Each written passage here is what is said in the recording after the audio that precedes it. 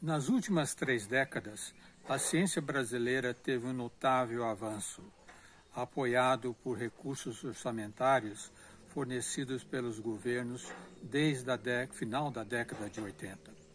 Mas, infelizmente, nos últimos dez anos, esses recursos têm decrescido substancialmente, afetando nossa produtividade científica e a formação de novos doutores. Isto culminou com recente bloqueio de 2,5 bilhões de reais no orçamento do Ministério da Ciência, Tecnologia e Inovações. Sou Andréa Latigia, professora de Física da Universidade Federal Fluminense e sou membro do Conselho da Sociedade Brasileira de Física. A sociedade brasileira tem que reagir para reverter o triste quadro que a ciência do país vive. Nossos estudantes, o futuro da ciência e tecnologia desse país, estão se afastando por falta de perspectivas. As bolsas de C e T, mestrado, doutorado estão congeladas há mais de nove anos. Os que conseguem vão para o exterior, o que hoje é conhecido como a grande perda de cérebros no Brasil. Temos que reagir e voltar a crescer. Nas últimas décadas, o Brasil conseguiu montar laboratórios de pesquisa com equipamentos sofisticados em várias regiões do Brasil, e isso fez com que a ciência brasileira fosse reconhecida no mundo inteiro como uma ciência de qualidade.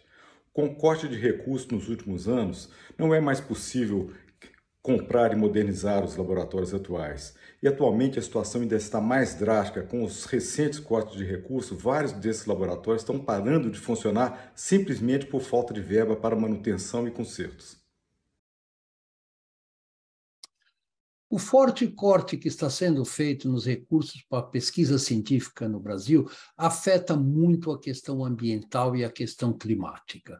Quer dizer, primeiro, porque nós precisamos desenvolver a ciência para saber como nós vamos atingir os nossos compromissos assinados pelo Brasil no Acordo de Paris e na COP26. Segundo, nós temos problemas ambientais enormes que precisam ser desenvolvidos com técnicas próprias aqui no Brasil. Não há como importar tecnologia de fora do Brasil para resolver os nossos problemas ambientais que são importantes. Portanto, estes cortes são um duro golpe na questão da preservação ambiental e na questão climática, dos quais o Brasil deveria ser um dos maiores protagonistas em nosso planeta.